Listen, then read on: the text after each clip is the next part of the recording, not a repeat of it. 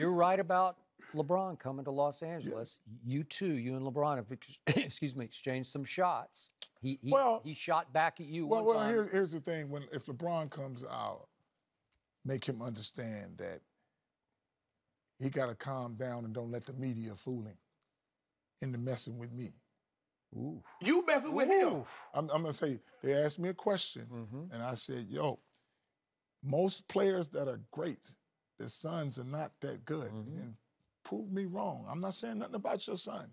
And then they said, "Well, LeBron." I, said, I don't see LeBron. The high expectation. Everybody gonna expect his son to be like him. But LeBron said, "Keep my son's name out your Well, mouth." that's when you talk about some. But he, see, he took it the wrong way. He's trying to wear his feelings on his sleeve. Okay.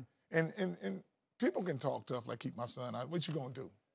Nothing. You just want to sound tough, But and it's you- but- okay. But, because anytime somebody strikes anything at a, a at a son, yo, yo, your horns are up. So that's when they talk about my sons and stuff like that. My, my stuff go up. but LaVar, you know that's unrealistic. The likelihood of an all-time generational great, a pantheon great player, Uh-huh. having a son equally as a great, it doesn't matter the sport. Uh-huh. So it's not like you went out there on a limb. Yeah, it's not like you. doesn't happen. Yeah.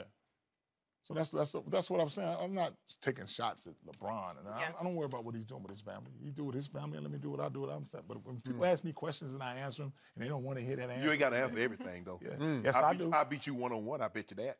You couldn't beat me one on one with two people.